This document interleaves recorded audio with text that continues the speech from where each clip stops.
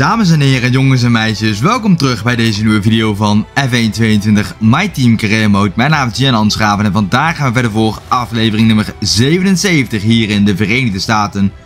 Ronde nummer 13 van het kampioenschap. Nog drie rondes te gaan en dan zit 56 alweer op. Leiden het kampioenschap met 102 punten voorsprong op Max Verstappen. Dus kunnen deze race nog verdere stappen nemen richting onze tweede wereldtitel in My Team Career Mode. Dat had u echt niet verwacht. Hebben helaas niet genoeg geld om Verstappen te gaan verlengen, maar het is geen probleem, want tegen het einde van het seizoen krijgen we altijd heel veel geld van ja, de prijzengeld, de positie waar we staan als constructeurs en hebben heel veel voldoende researchpunten over. Goed verhaal. Maar eerst, heb je die vorige video in Japan gemist, zal ik die eerst even terugkijken voordat je deze dus gaat zien. Dat kan rechts moet ietsje Klik erop en zie deze video verschijnen. Maar het allerbelangrijkste is gewoon, ben je nog niet geabonneerd op mijn gamekanaal? Gewoon even doen. Abonneer. Vooral voor meer wekelijkse F1 22 My Team Career content. Zijn dus constructeurskampioen. Goed om te zien. En goed om te horen. Vorige wedstrijd dus gewonnen met Verstappen op de tweede plek. En pakte de volledige score in de grote prijs. Hopen dat het dit keer weer kan. En is het op naar de kwalificatie voor aflevering nummer 77. Daar gaan we dan. Dan zijn we aanbeland bij U1 en kijken of wij door kunnen komen naar het tweede kwalificatiedeel. Begint al niet zo lekker. Waarom? Ik ja, snijd die bocht volledig af. Niet mijn bedoeling. Ik zat gewoon even niet op te letten.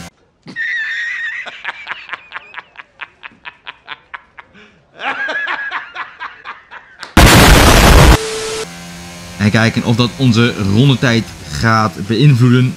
Eerste bocht nemen we iets te wijd. De apex daar een klein beetje misgelopen helaas. Kom aan bij het einde van mijn hopelijk eerste en laatste run in Q1. Daar weer die apex gemist, daar te wijd. Weer een track limit waarschuwing aan onze broek gekregen. DRS geopend en dat is wel de snelste tijd met het 1.34.851. Zijn we aanbeland bij Q2, want we zijn mooi door. En dat is goed om te zien. De zon is hier verdwenen. En de bewolking heeft plaats gevonden. Er is geen regen voorspeld tijdens de kwalificatie. Wel tijdens de wedstrijd. Dus ja, daar moeten wij voor op zien te passen. Interessant. Heel interessant. Eerste bocht nemen we veel te kort. En een flinke treklimit waarschuwing gekregen. Daar helaas te wijd. En ook hier weer te wijd. Maar het is wel de snelste tijd met een 1.33.211. En dan zijn we aanbeland bij het laatste Q3 deel. Sorry, het laatste kwalificatiedeel. En dan gaan we kijken of wij ook door kunnen komen voor de pole position. Die moeten wij gewoon zien te halen. Het zou mooi zijn als dat gaat gebeuren. Ik ben ook benieuwd waar Verstappen eindigt. Hopen dat hij mee kan komen.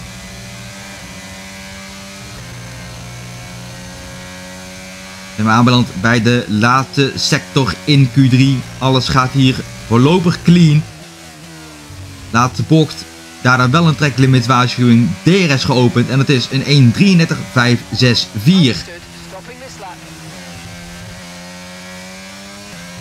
En dan gaan we er nog een keer voor ja, gaan zitten. Gaan nog een ronde proberen. Want ik ben benieuwd waar Verstappen eindigt op dit moment op de tweede positie. Wij dus nog steeds voorlopig op pole position met nog ongeveer 1 minuut en 15 seconden op de klok. We verliezen daar wat tijd bij uitkomen eerste bocht, maar maken het goed met groen in sector 1, paars in sector 2, daar iets te wijd. Heeft ons wat tijd gekost. Vlag hangt uit in de Q3, daar volledig die bocht afgesneden. Maar het is nog steeds de pole position, jazeker. Goed gedaan.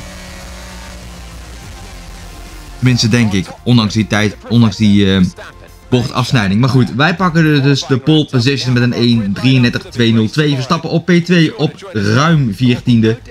Charles Leclerc op P3 op ruim 18e.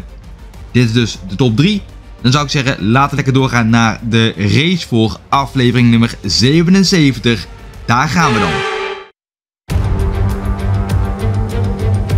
Welcome once again then to the United States Grand Prix here in the magnificent city of Austin. It was here in 2018 that Kimi Raikkonen delighted the world by taking the top step of the podium for the first time in 114 races. There's always a record to be broken. So what, I wonder, is in store for us today? It's 10 to the left and 10 to the right. I'm not talking about a line dance. I'm talking about the corners here at the fantastic Circuit of the Americas, overtaking opportunities into turn 1 and turn 12 at this anti-clockwise 3.6 mile track, but we may well see cars struggle to slow down there today as the wet weather interferes with the low grip speed. Off the back of a fantastic qualifying session, it's time to see how our starting grid looks like for today's race. The Professor lines up on pole position, edging out Max Verstappen, who will start from P2. Looking down the rest of the grid, we have Leclerc, Norris, Sergio Perez, and Sainz, Gasly, Albon, Sonoda, and Esteban Ocon. Fernando Alonso, Latifi, George Russell, and Tictum, Oscar Piastri, Stroll, Robert Schwartzman, and Guan Yu Zhou, Magnussen, Teo Porcher, Mick Schumacher, and Richard Verschoor. It's almost time for the lights to go out, so let's head down to the track where preparations are underway. And joining me again for the race today, Natalie Pinkham. Let's talk about the Professor. What do you make of their performance so far this season? It's been a really solid year so far. There have been some incredible standout performances. But what's really impressed me has been the consistency. With this kind of form, I'm expecting another good race today. After the points finished last race, let's aim to keep that momentum going. Dat momentum moeten wij dus meenemen na de vorige wedstrijd. Toen wonnen we ook de wedstrijd. Nu is het ook proberen zien te winnen in de regen. Full daar starten wij dus op. En gaan langzamerhand richting die intermediates. Dat is de planning. Maar nog steeds, ja, in tijdens het midden van de race kan de regen wat verminderen. Dus dan is het tijd voor de formatieronde.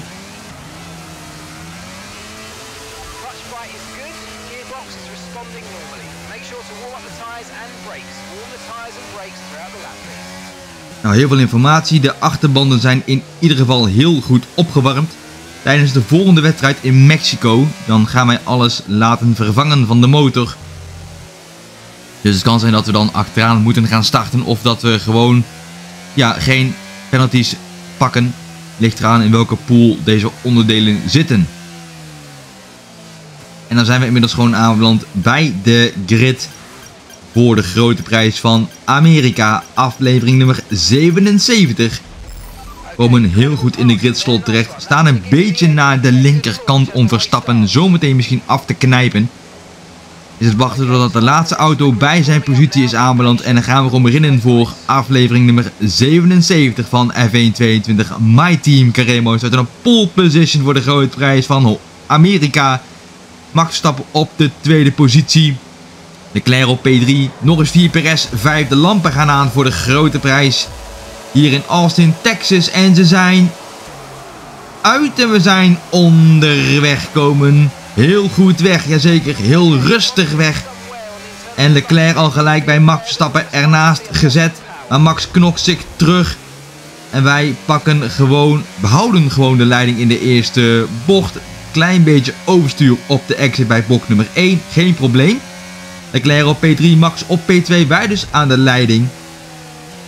Het is alleen maar de regen die naar beneden komt. Ik zie geen donkere lucht. Dus ik verwacht dat het zometeen al snel gaat opdrogen.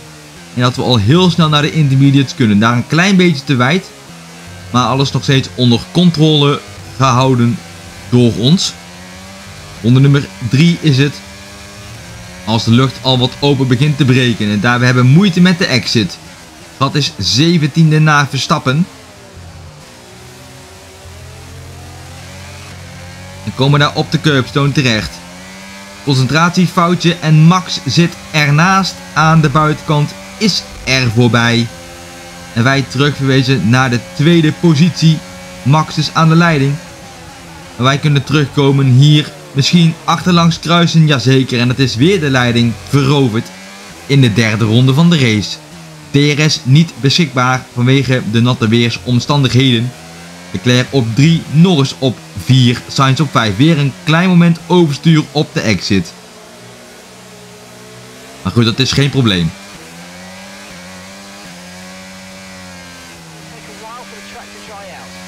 Gele vlag in ronde nummer 4. Okay, clear.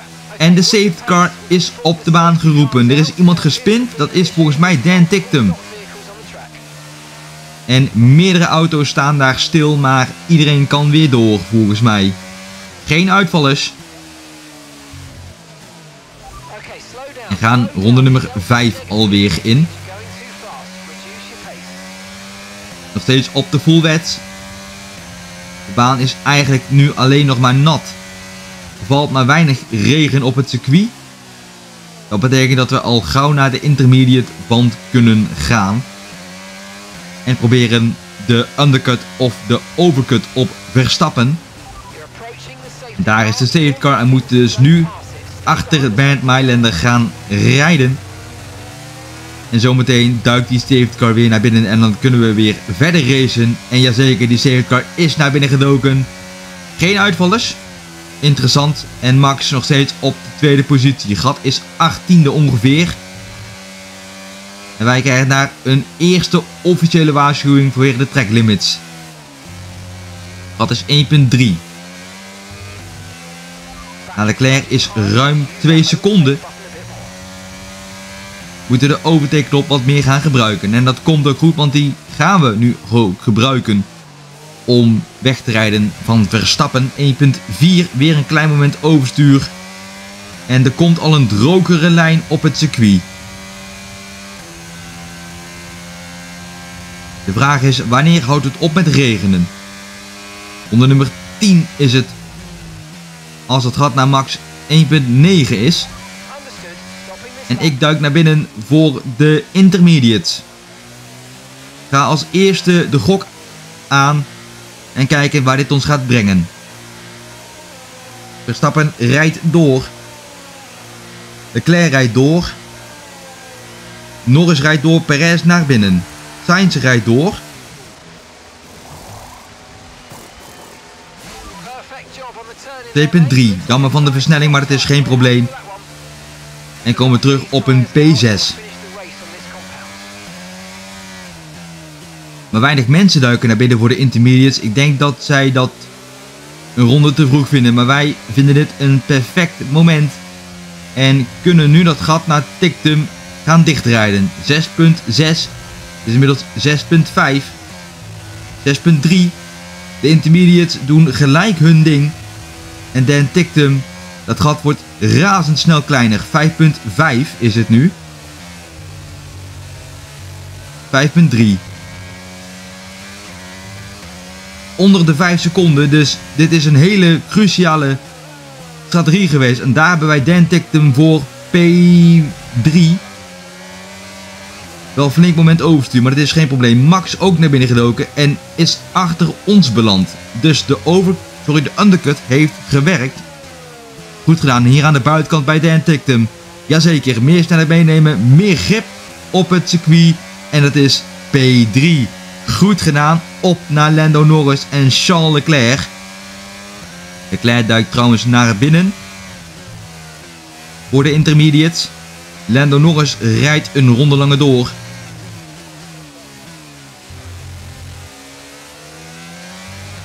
En Dan Tictum duikt ook naar binnen.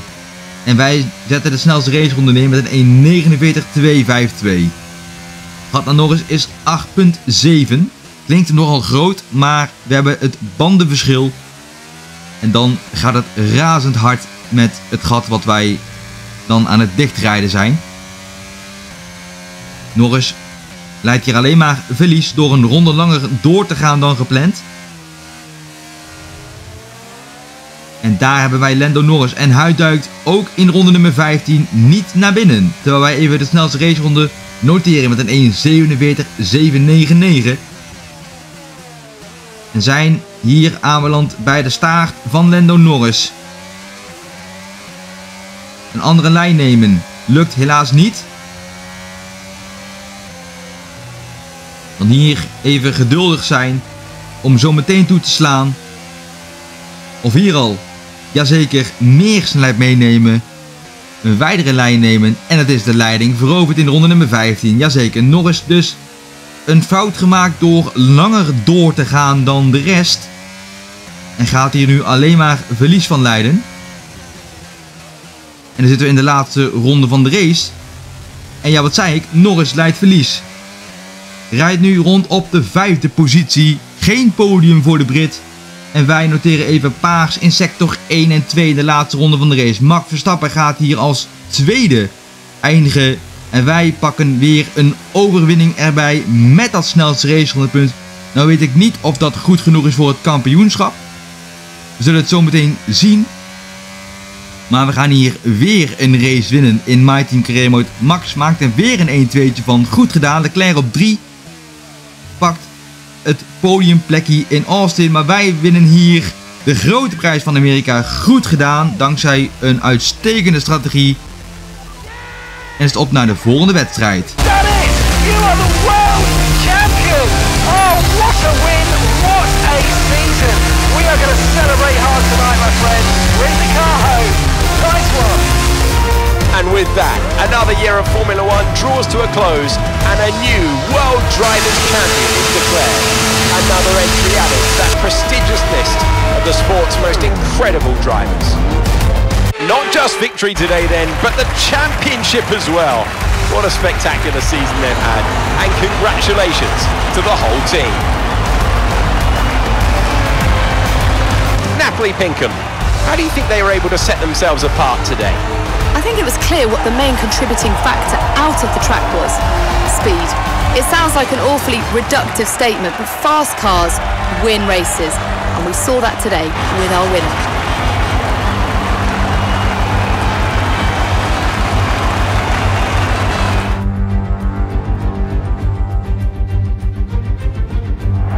Here comes your top three, making their way down to the podium for what can only be described as a fantastic day for Formula One.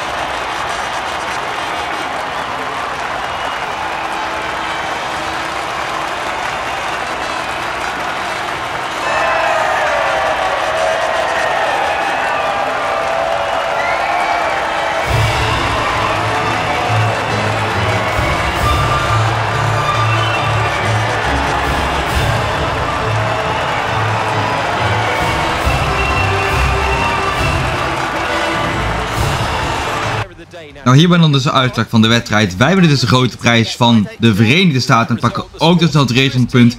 Max Verstappen op P2. En dat betekent dat wij officieel ook rijderskampioen zijn bij de coureurs. Goed gedaan, pakken de dubbel.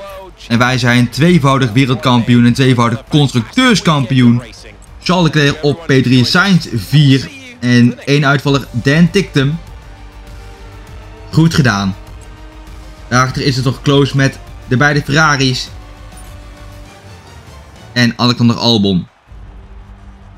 Maar ja, een eh, prima seizoen tot nu toe. Rivaliteit breakdown plus 5 voor mijzelf, plus 3 voor Leclerc. Wat maakt 14 tegenover 7. Level 27 het team acclaim, level 21 mijzelf, level 22 Verstappen. Goed gedaan.